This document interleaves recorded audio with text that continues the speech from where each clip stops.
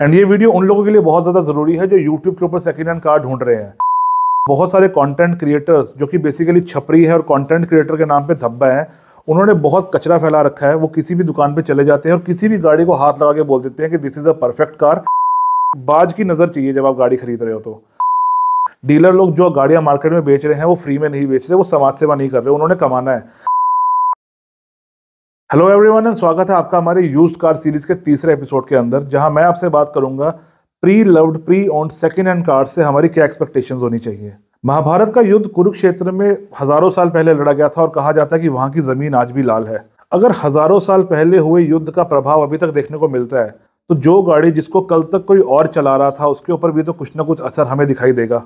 कुछ निशान, कुछ उस गाड़ी की आदतें, कुछ उस गाड़ी की चाल प्रभावित ज़रूर हुई होगी। और हम आज इस वीडियो में जानेंगे कि किन चीज़ों को हमने एक्सेप्ट करना है और किन चीज़ों को हमने रिजेक्ट करना है। मेरा नाम गगनप्रीत सिंह, आप लोग देख रहे हैं spare wheel and let's begin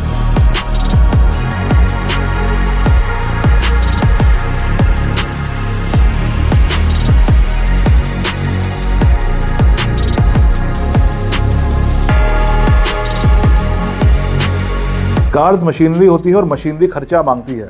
चाहे वो हो बेसिक मेंटेनेंस और चाहे वो हो रुला देने वाला खर्चा। तो अगर हम इस खर्चे के ढेर में से खजूर निकाल के खाना चाहते हैं ना तो हमें कुछ चीज़ों का ध्यान रखना पड़ेगा। और अगर हम इन चीज़ों को इग्नोर करते हैं तो हमारी ज़िंदगी में खर्चा ही खर्चा भरा है, फिर चाहे आप कोई भी गाड़ी खरीद लो। एंड ये वीडियो उन लोगों के लिए बहुत ज़्यादा ज़रूरी है जो यूट्यूब के ऊपर सेकेंड हैंड कार ढूंढ रहे हैं। बिकॉज़ बहुत सारे कंटेंट क्रिएटर्स जो कि बेसिकली छपरी है और कंटेंट क्रिएटर के नाम पे धब्बा है उन्होंने बहुत कचरा फैला रखा है, वो किसी भी दुकान पे चले जाते हैं और किसी भी गाड़ी को हाथ लगा के बोल देते हैं कि this is a perfect car आप ये गाड़ी इन भाई साहब से इतने लाख रुपए में खरीद लोगे। ऊँचा ऊँचा कार का प्राइस अनाउंस किया जाता है ताकि लोग एक्साइटेड हो और एक्साइटमेंट में उस बंदे को कॉल करें और ऐसी कोई कबाड़ गाड़ी अपने घर में उठा के ले आए। इस चैनल के ऊपर आपको कार के एक एक घंटे के वीडियोस इसलिए मिलते हैं ताकि आप समझ सको कि उस कार की चाल रियल लाइफ में कैसी है और आप समझ सको कि वो गाड़ी आपके लिए है या नहीं है। तो इस वीडियो को भी आपने अंत तक देखना है। सबसे पहले अगर मैं एक्सटीरियर की बात करूँ तो जो छोटे मोटे स्क्रैचेस या डेंट्स होते हैं, वो बहुत ही आम चीज़ है कॉमन सी चीज़ है। एंड इसकी वजह से हमने किसी गाड़ी को रिजेक्ट नहीं करना है। अगर आप कल को नई गाड़ी भी लोगे तो महीने, डेढ़ महीने में आप भी कई बार सीखते सीखते छोटे मोटे स्क्रैचेस डाल लोगे, ये बहुत आम बात है। जो हमने अवॉइड करना है, वो है रस्ट और पैनल गैप देखो रस्ट एक ऐसी चीज़ है, जो गाड़ी को खा जाता है। ठीक है? मतलब जो जंग लगता है, वो मेटल को ख़त्म कर देता है। तो रस्ट एक बहुत डेंजर वाली चीज़ है। अगर आपको गाड़ी में रस्ट दिख जाता है, पहली बात तो उससे थोड़ा सा दूर ही रहो। कोशिश करो आप उस गाड़ी को ना खरीदो। लेकिन अगर आपको फिर भी वो गाड़ी लेनी है, आप इंटरेस्टेड हो या आपके बजट में वो गाड़ी आ रही है तो आप देखो कि रस्ट की प्रॉब्लम कितनी ज़्यादा है। हेजिटेट नहीं करना आपने। रस्ट के आसपास वाली जो एरिया है, उसको हल्का सा प्रेस करके देखना है। अगर तो रस्ट बहुत ज़्यादा होगा ना तो हल्का सा प्रेस करने पर वो वाला मेटल वहाँ से ख़राब हो जाएगा। लेकिन अगर रस्ट थोड़ा सा ही है और आप प्रेस कर रहे हो और वो कहीं नहीं जा रहा है मेटल तो फिर इट इज़ ओके वो रिपेयर हो सकता है। दूसरी तरफ़ आ जाता है panel gaps usually panel gaps सिर्फ़ टाटा की गाड़ियों में होते हैं फैक्ट्री से, लेकिन अगर किसी और गाड़ी के अंदर आप पैनल गैप देख रहे हो तो आप हिसाब लगा लो कि शायद वो पैनल बाद में फिट किया गया है, चाहे सर्विस सेंटर में, चाहे कहीं बाहर। क्योंकि जो पैनल फैक्ट्री फिट करती है वहाँ पर आपको ज़्यादा गैप्स नहीं मिलते। रही बात टाटा मोटर्स की, या थोड़ा बहुत महिंद्रा में भी ऐसा होता है, इनकी फैक्ट्री से ही पैनल गैप आता है तो टाटा की गाड़ियाँ इजिली जज नहीं हो पाती कि ये एक्सीडेंटल है या कंपनी से ही ऐसी आई थी। That is a plus point लेकिन इन चीज़ों का आपने थोड़ा बहुत ध्यान रखना है और बाज की नज़र चाहिए जब आप गाड़ी खरीद रहे हो तो। इसके बाद आ जाता है इंटीरियर इंटीरियर के अंदर अगर मैं बात करूँ तो जो छोटे मोटे होता है ना वियर इंटीरियर के निशान, जैसे स्टेयरिंग थोड़ा सा मतलब अब घिस गया है, थोड़ा बटन के ऊपर अगर टेक्स्ट दिखना कम हो रहा है तो ये कॉमन सी चीज़ें हैं जो उम्र के साथ हो जाती हैं।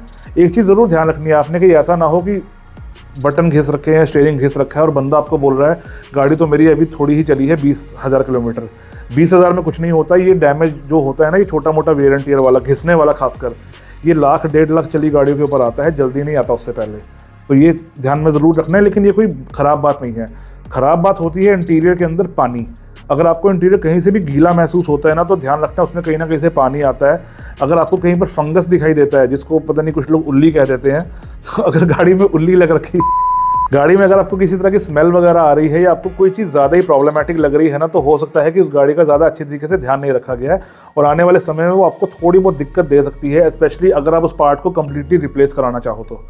तो ये एक इश्यू निकल सकता है। इसके बाद अगर मैं इंजन की बात करूँ तो यहाँ पे सबसे ज़्यादा ध्यान देना है गाड़ी जो मर्ज़ी हो, चाहे हो फोक्स चाहे हो टयोटा क्योंकि देखो मेन जो जान है वो इंजन के अंदर ही है। बाकी सारी चीज़ें इजीली रिपेयर हो सकती है। जब इंजन रिपेयर की बारी आएगी ना तो पचास साठ हज़ार रुपये कब खुल जाएगा, आपको पता भी नहीं चलेगा।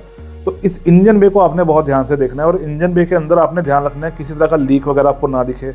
ठीक है? हर एक वायर आप ध्यान से देखो एक्स्ट्रा वायर्स वहाँ पर ज़्यादा ना हो। राइट इन चीज़ों को समझना बहुत ज़्यादा ज़रूरी है। एंड इससे अगले वीडियो के अंदर मैं आपको ये सारे ही पॉइंट्स ना प्रॉपर डिटेल में बताऊँगा। फ़िलहाल मैं आपको सिर्फ़ ये बताना चाह रहा हूँ इस वीडियो के माध्यम से कि खर्चा और खजूर हमारे सामने ही है। हमने उसको अपने आप से ओपन आइज़ से जज करना है। अपने आप से पिक करना है। गाड़ी को चला के देखो, अगर आपको लगता है कि गाड़ी का इंजन थोड़ा सा रफ महसूस हो रहा है जस्ट डोंट बाई इट अगर आपका दिल नहीं कह रहा ना, देखो गट फीलिंग बहुत ज़्यादा ज़रूरी होती है। अगर अंदर से आवाज़ नहीं आ रही उस गाड़ी को खरीदने की तो नहीं खरीदना है। और अगर अंदर से आवाज़ आ रही है कि ये गाड़ी ठीक है, मुझे चलने में ओके लग रही है। देन गो फॉर इट लेकिन मैं अगेन यही बता रहा हूँ कि गट फीलिंग का मतलब एक्सपर्टीज़ नहीं होता।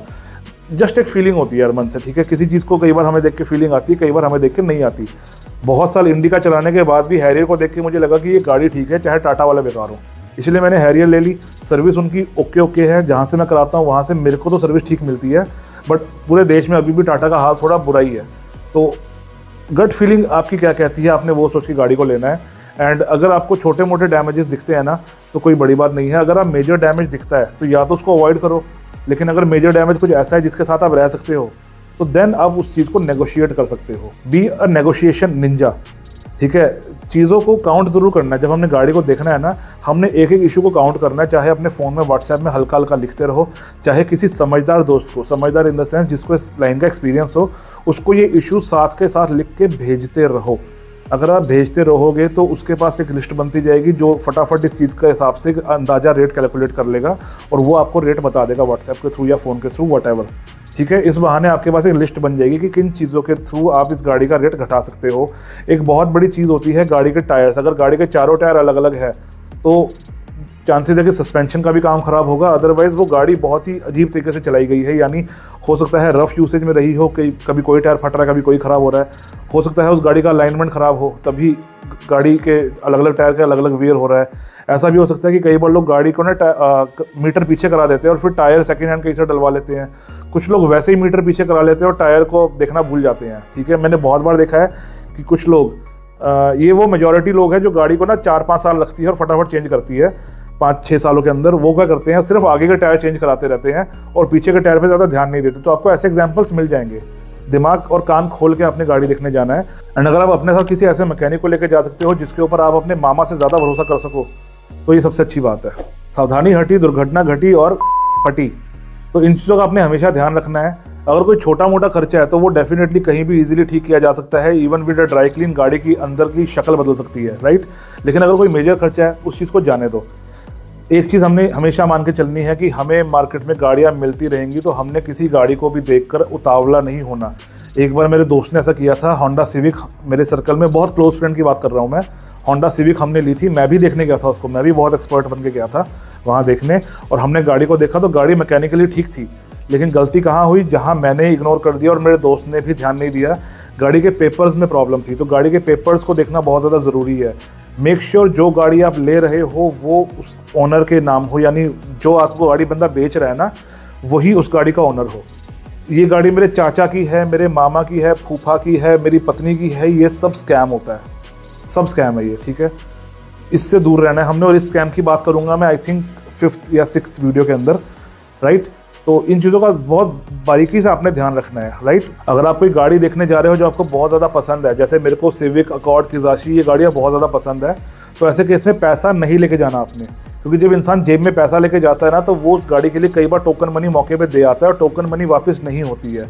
आप लड़ोगे, बिना बात के स्ट्रेस में जाओगे don't do this go check the car car को आराम से देखो, उसको टाइम दे दो कि यार मैं आपको एक या दो दिन के अंदर बता दूँगा, उसको खींचो मत। और अगर आपके मन में और भी गाड़ियाँ हैं ना तो फटाफट सारी गाड़ियों को देखो और एनालाइज करो। डो इट मल्टीपल गाड़ियाँ देखो और फिर आपने गाड़ी खरीदनी है। अगर आप सिर्फ़ एक गाड़ी देखते हो, किसी डीलर की वीडियो आपने देख ली यूट्यूब पे, एक गाड़ी देखी, आपको देखने में अच्छी लग रही है और आपने खरीद ली तो there are more than fifty percent chances कि वो गाड़ी आपकी कबाड़ निकलने वाली है। बहुत कम चांसेस होते हैं कि वो गाड़ी आपकी अच्छी निकले। ऑन दी अदर हैंड अगर वो गाड़ी अच्छी निकलती है तो देर आर चांसेस कि आप उसका एक्स्ट्रा ही पैसा देकर आए हो राइट डीलर लोग जो गाड़ियाँ मार्केट में बेच रहे हैं, वो फ्री में नहीं बेच रहे वो समाज सेवा नहीं कर रहे, उन्होंने कमाना है। बट प्रॉब्लम कहाँ होती है, वो आपको बहुत चौड़ में आके कहते हैं कि देखो सर, बोल के दस हज़ार रुपये रखते हैं हम, पुराने बंदे ने हमको ये गाड़ी दी थी तीन लाख रुपये की, हम आपको ये गाड़ी तीन लाख दस हज़ार की बेच रहे हैं। रियलिटी में उन्होंने वो गाड़ी दो लाख रुपए की खरीदी है। इसलिए मैं कहता हूँ ओनर ढूंढो। अगर ओनर उसको दो लाख में बेच रहा है और आपको अगर ओनर दो लाख बीस हज़ार में देता है वो गाड़ी तो ओनर को भी बेनिफिट है और आपको भी बेनिफिट है राइट यहाँ पर दोनों के लिए विन विन सिचुएशन है तो इसीलिए डीलर्स वगैरह से मैं गाड़ी मना नहीं करता कि ना देखें। देखें, कोई प्रॉब्लम नहीं है। डीलर आपको ढंग के भी मिलेंगे और कई बार आपको कोई अच्छा प्रोडक्ट मिल सकता है। बट आपको गाड़ी देखनी आनी चाहिए। That is the most important thing so that was all for today guys I hope आपको आज का वीडियो ईजी लगा और समझ में आया। सी खर्चा is a part of journey हम सेकेंड हैंड गाड़ी ले रहे हैं, इसका खर्चा होगा ही होगा। तो ये कोई बड़ी बात नहीं है। आप कोई भी गाड़ी ले रहे हो, आप अपने जेब में पचास साठ हज़ार रुपये एक्स्ट्रा लेकर चलो कि आपका इस गाड़ी के अंदर छः महीने में कोई मेजर खर्चा निकल सकता है। नहीं निकला तो अच्छी बात है, अगर निकल गया तो क्योंकि आपने पहले बैकअप बनाया था, वो आपको आगे जाके काम आएगा।